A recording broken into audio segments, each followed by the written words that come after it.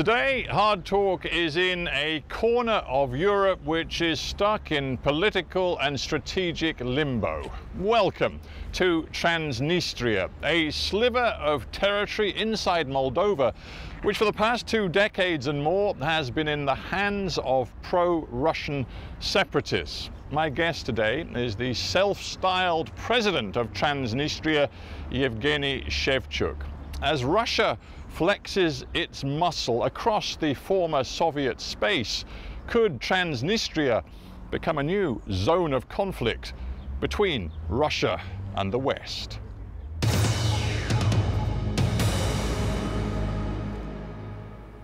Yevgeny Shevchuk, welcome to Hard Talk. There is uh, something quite extraordinary about your small territory. It looks and it feels like the Soviet Union never went away. Do you see that as a, as a sign of success? Ну, это впечатление субъективное у каждого. Во-первых, э, Приднестровье, она э, как страна, она уникальна с точки зрения непризнания. Есть определенные сложности, проблемы. Где-то мы сохраняем историю, где-то развиваем в меру наших возможностей. Поэтому у некоторых формируются разные впечатления. Well, obviously, the impression is based on what I see. And for example, what I see right behind you is the flag that your territory has adopted, which of course has the very prominent hammer and sickle, the symbol of the Soviet Union. I mean, does that indicate that you want a, a system here and an ideology which goes back to the Soviet days? Ну, идеология Советского Союза – это все-таки прошлое. Хотя там было тоже много положительного в самой стране. И многие сожалеют о том, что эта страна была разрушена и не были проведены соответствующие реформы своевременные. Что касается нашего флага и герба, то это больше истории, потому что в 92 году, как известно, в 91 наши граждане воевали под этим флагом. Но и дань уважения к тем погибшим, к этой истории, у нас сохраняется именно этот флаг с этим изображением герба. You, you make a, a, great deal of the symbols. You've built a, what you call a nation. You have a flag. You have your own currency, the ruble. You have your own passports. But it is all a fantasy. Nobody outside of this tiny territory recognizes the legitimacy of what you call your state. Но, к сожалению, не признают Э, но мы живем, мы есть фактически, вы находитесь в реальном Приднестровье, где есть свои, все институты государственной власти, здесь есть своя внешняя политика, где осуществляется экономическая политика самостоятельная и так далее. Э, вопросы вопрос, или проблема признания или нет, это проблема больше политическая. Желание политических властей соседних государств или тех государств, которые в той или иной мере участвуют в регулировании, признать э, реальный факт существования этих людей с этой волей, направлена на формирование самостоятельного государства. But, but what is the point of a passport that you cannot use? I don't understand. Ну, в чем смысл? Дело в том, что паспорт внутри страны используется для перемещения по стране, э, удостоверения личности как таковой. Э, Все равно акты гражданского состояния никто не отменял. Это свидетельство о рождении, свидетельство о смерти. Так же самое и выдача соответствующих паспортов, которые подтверждают личность. You said when you were elected uh, in 2011, you said that you were determined and you would work tirelessly to win international recognition for Transnistria. On that basis, you have failed. Но мы движемся в этом направлении. И мы предлагаем формулу, по которой можно достичь стабильности в этом регионе Европы. И в этой формуле нам видится именно вариант международного признания. Что касается э, воли приднестровских граждан, моей воли, моего желания, то мы, безусловно, выступаем за признание как э, элемент подтверждения э, демократического волеизъявления граждан. Things are changing very fast in this neighborhood, and obviously, at the top of the list of changes is what has happened in Ukraine. Do you see the crisis there in your neighbor, Ukraine, as a threat or an opportunity? Безусловно, конфликт в Украине для нас э, представляет определенные риски и серьезные риски. Э, часть из них мы уже на себе ощущаем. Влияние украинской дестабилизации на экономику Приднестровья в частности. Но я считаю, что самое главное сейчас, наверное, в мире и в Украине в том числе, что сбиты какие-то идеологические координаты ценностей. И из-за этого происходят вот такие конфликты.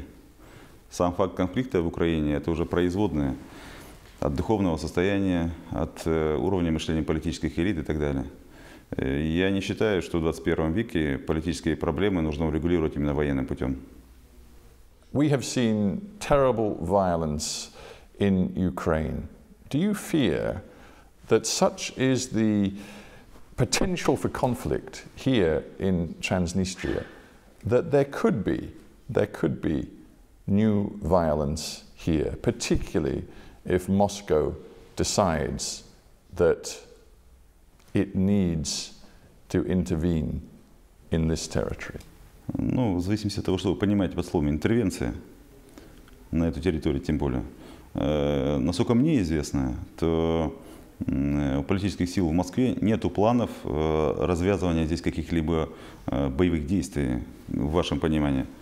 И хочу подчеркнуть, что Приднестровье уже прошло ужасы националистической войны фактически, гражданской войны в 1992 году, и мы знаем, что это такое, когда потеряли более 800 людей убитыми. Поэтому мы мирные люди и пытаемся с нашими э, соседями выстроить конструктивный диалог, направленный на добрососедство и на сотрудничество. И мы на это настроены. Конечно, нельзя исключать, что какие-то э, радикальные националистические там, силы, допустим, в Украине или в Молдове попытаются какие-то провокации сделать там на границах и так далее, создать. Такого полностью исключать нельзя. Но мы надеемся, что хватит благоразумия у государственных органов власти и в Киеве, и в Кишиневе для, для того, чтобы не развязывать э, конфликт в более горячей стадии. You, uh, in April, you delivered what you call your State of the Nation address, and you made a point of saying that you wanted to see Transnistria independent, but then forging a future with Russia. Your parliament has actually appealed to Russia to annex this territory, just like Crimea. Is that really the lesson you draw from what has happened in Ukraine that you want Russia to annex you? Я хотел бы изменить тут некоторые определения. Вопрос не стоит об аннексии. Вопрос стоит о том, что фундаментальным правом э, является право человека на наличие своего мнения и политической воли. И эти люди, проживающие в частности в Приднестровье, подтвердили свою волю на референдуме, как известно, и неоднократно. И мы считаем, что это But if I may, I mean, that, that referendum, as you know, had no international legitimacy or standing whatsoever. I mean, it doesn't mean anything, the vote that you had in 2006. На наш взгляд, Приднестровье не признано потому, на сегодняшний момент, потому что идет вот такая некая конкуренция внешних сил за влияние, допустим, на регион. И, наверное, это больше является фактором непризнания, чем отношение к самой демократической процедуре. But, but, but with respect, I just wonder whether you uh, appreciate the degree to which the sands are shifting all around you. We now have in Moldova, just a, a few miles that way, we have a government which has signed an association agreement with the European Union. And just a few miles the other way, we have a government in Kiev which has also signed an agreement with the European Union. Both of your neighbours are looking to the West, to the European Union, which leaves you, sandwiched between them, more isolated than ever before. С уважением относимся к воле Кишинева, Киева официального в данном случае. Это суверенные власти, им принимать решения. Э, что касается тех интеграционных процессов, которые более динамичны в последнее время, то они направлены на, в первую очередь, экономическую и политическую интеграцию. И если это им выгодно, как для стран, э, то, наверное, это нужно только приветствовать. И э, любое государство заинтересовано торговать как с Западом, так и Востоком. В этом направлении мы выстраиваем собственную политику. Но когда новые правила э, грозят нам серьезными рисками, то мы, безусловно, не можем не отмечать эти риски и не можем пытаться им противодействовать. It seems to me that whether you like it or not, a lot of your own people see that the political winds have changed and that they need to change too. For example, I'm sure you are very well aware that a huge number of the people in your own territory now either have or want to get a Moldovan passport. Why do you think that is? Дело в том, что без международно признанного паспорта выехать невозможно за пределы. Поэтому люди были поставлены в объективную реальность, в связи с которой им нужно было принимать решение, какой получить документ, чтобы выехать. И у нас есть, как известно, около 200 тысяч граждан с русскими паспортами, около 90 тысяч граждан с э, украинскими паспортами, и есть определенное количество с молдавскими паспортами, но все они имеют гражданство Приднестровья. И у нас разрешена множественность гражданств, и мы в этом не видим проблем человек должен иметь возможность свободно перемещаться по миру. И если, если yeah, у них... But surely this tells you something. the figure you didn't come up with was that almost 200,000 people now have Moldovan passports. And the reason they do is because they can see huge attractions to being Moldovan, not least thanks to the agreement that has now been signed Moldovan passport holders can travel freely without visas across the Schengen area of the European Union. I've even heard a rumor that you yourself have looked into getting a Moldovan passport. This shows the, the, the craziness of your determination to be separate from Moldova. Э, но слухами руководствоваться не стоит, по большому счету, не имея гражданского Молдовы и не имея молдавского паспорта. Что касается получения все-таки паспорта, тут больше дела в процедурах и сроках их получения. Дело в том, что молдавские власти э, предоставили льготные и возможности по получению молдавского паспорта. Если бы были бы такие же самые льготные возможности получения украинского и русского, то я вас заверяю, что граждан Украины и России было бы еще больше. Do you not accept that looking forward and looking at the economic situation in your territory and considering where the economic potential lies for your people, it would be better for your people to make a future with Moldova than to continue to look east to Russia, a territory which you are separated from by hundreds of miles. Ну, вы, наверное, бывали в Молдове, насколько мне известно, э, изучали ситуацию там и видите, что Молдова, Молдове не удалось продемонстрировать э, серьезный экономический прорыв, э, даже будучи признанным государством. Поэтому примера экономического развития в Молдове как такового бурного нет. Что касается перспективы экономической с Молдовы, просто объединение с Молдовой для экономической выгоды, ни один экономист не скажет, что она очевидна. Let me focus for a little bit on, on your relationship with Moscow. You have told me that you know you are an independent state, state being a word that I'm putting in quotation marks. You aren't independent at all. If one look at, looks at the facts of, of your territory and how it works, you are totally reliant on Moscow. Let's start with gas supplies, energy, you basically do not pay for the energy, the gas that you get from Gazprom. You haven't paid for years for this gas. In fact, you owe what is believed to be $5 billion. So far from being independent, you are entirely reliant on Gazprom, on Russia, for your energy supplies. На протяжении 20 лет предпринимались односторонние шаги, направленные на ухудшение экономической ситуации, на удушение практической экономики Приднестровья. И, конечно, в этих условиях экономика Приднестровья начала падать и осуществлять падение. Поэтому в соответствии с меморандумом, который был подписан э, четырьмя сторонами, Российская Федерация взяла на себя обязанность э, поддерживать социально-экономический статус или этих граждан, проживающих здесь, и всех приднестровцев. Хочу напомнить, что Россия поддерживает... Would you accept that you are entirely dependent upon Russia's largesse, your gas supplies, which you get for free unless Russia ever changes its mind. Also, Russia props up your official budget.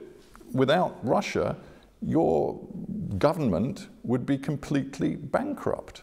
Я хочу сказать, что от газа зависит и Молдова в полном объеме, и Румыния в полном объеме. И хочу сказать, что, безусловно, уровень поддержки российского государства значительный. But, but they have to pay for their gas. You don't have to pay for your gas. Russia gives it to you for free. Да, учитывая то, что находится Приднестровье в блокаде, я думаю, что так. And the budget deficit, You're, you accept that your government would be completely bankrupt were it not for the cash injection that Russia sends to you every single year. They prop you up. Мы бы банкротами наверняка не были, но жили бы значительно хуже, однозначно. And then there's the question of the troops. There are how many troops are there here from Russia on your territory today? Ну, это вопрос э, к российским войскам. У нас есть своя армия, свое Министерство обороны. Э, Насколько мне известно, Yeah, how many Russian troops are here? ро- российская... Ну, чуть, чуть более тысячи, тысячи солдат вместе с э, техническим персоналом. Основные функции – это миротворческая операция и охрана складов. The Russians promised to remove all of their military forces После from, достижения- from this после- territory in 1995, and they're still here. После достижения политического урегулирования. Поэтому нужно быть внимательным э, к тем декларациям, которые в свое время э, озвучивались. I just wonder whether you ever worry that you are being used by Moscow. It is very useful for the Russians to have this quote unquote frozen conflict inside Moldova. They don't want to recognize your independence. They don't want to give you a union with the Russian Federation. They just want to keep you here as a stone in the shoe of Moldova and of the European Union. Ну, есть такая точка зрения, но мы оптимисты, и м, мы верим и надеемся на позитивное развитие событий. I'll tell you who else is an optimist, and I met him the other day, and he maintained a very positive view of what will happen in Transnistria, and that's the Prime Minister of Moldova, Mr. Yuri Lanka. He believes that in the end, Transnistrians will see the logic, the sense of unifying, returning to Moldova. He says that the economic opportunities are there for you to see. He says he's offering autonomy. He wants a monitoring system without military, but a monitoring system to ensure your rights are preserved. And he believes that in the long run, Transnistria will have a future inside Moldova. Ну, нам известно э, мнение официальных властей Республики Молдова. Э, Хочу сказать, что все эти предложения обсуждались в рам- в рамках переговоров. И, кстати, у Молдовы был шанс э, заключить с э, Приднестровьем соответствующее соглашение. Молдова в одностороннем порядке в свое время отказалась от этого. Что касается единения с Молдовой, то, напомню, здесь есть серьезные подводные камни истории. Приднестровье никогда не было с Молдовой единым государством. Это все проблемы с еще тянущиеся с развала Советского Союза. Здесь э, у них своя история, у нас своя история, и не замечать этого нельзя. Yeah, do you, do you think that the demographic situation here points to optimism when in 1990, at the time of the collapse of the Soviet Union, 700,000 people lived in your territory, and right now, today, all of the best estimates suggest that fewer than 500,000 people actually live on your soil, even though you're very cagey about the figures. I mean, you are hemorrhaging people. You are now down to a point where to talk of a nation in such a territory with such a tiny population just seems absurd. Но есть же такие территории, как Люксембург, например. Есть э, более, э, более мелкие страны, чем Приднестровье, и с численностью, и с территорией как таковой. Вопрос... Yeah, wh- which have found a successful economic formula, which clearly you have not found. Э, Дело в том, что в полной блокаде разрабатывать экономическую успешную формулу очень сложно, по большому счету, как минимум. Если у вас будут рекомендации, кто сможет ее разработать, мы будем вам благодарны. Но реально Приднестровье находится, э, будем говорить так, неравных экономических условиях с Молдовой, с Украиной, как с признанными странами. При всем при этом у Молдовы и Украины, хотя есть возможности как субъекты международного права, динамичного развития такого, ну, будем говорить, такого показательного у них нет. Потому что, поэтому, потому почему? Потому что есть определенные внутренние системные проблемы, еще кроме того, что есть э, проблемы перестройки экономики и так далее. You say you're an optimist and you believe in the people in your territory. If that's the case, why is it that, according to human rights organizations like Freedom House, freedom of expression is severely curtailed here? The state exercises control of the broadcast media, public protests require a permit, the judiciary is subservient to the executive, and politically motivated arrests and detentions are commonplace. Why? Но в первую очередь хочу сказать, что м, мне неизвестны такие примеры. Если они у вас есть, то мы с ними разберемся. Э, за последние два с половиной года ни одно официально зарегистрированное СМИ не, не закрывалось. Более того, э, состояние с правами человека проверяли в Приднестровье уполномоченный по правам человека Организации Объединенных э, Наций Томас Хаммерберг который в течение целого года работал на территории Приднестровья, и ему были открыты фактически все двери, вплоть до тюрем. Он э, беседовал с людьми, э, которые содержатся и в изоляторах временного содержания, и милиции, и простыми людьми. И они э, с ним, общаясь, предоставляли более точную и реальную информацию. Так вот, в его докладе по результатам годовой проверки Приднестровья таких фактов, которые вы изложили, не было.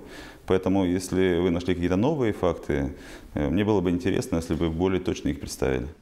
In terms of rights, one of the issues which international campaigners have looked at is the way in which Moldovan citizens, people particularly who use the Moldovan language, are treated on the soil here in Transnistria. In 2012, a European Court of Human Rights ruling found that there were unacceptable restrictions on the teaching of Moldovan in uh, schools in your territory. And in fact, Russia was held responsible and was fined.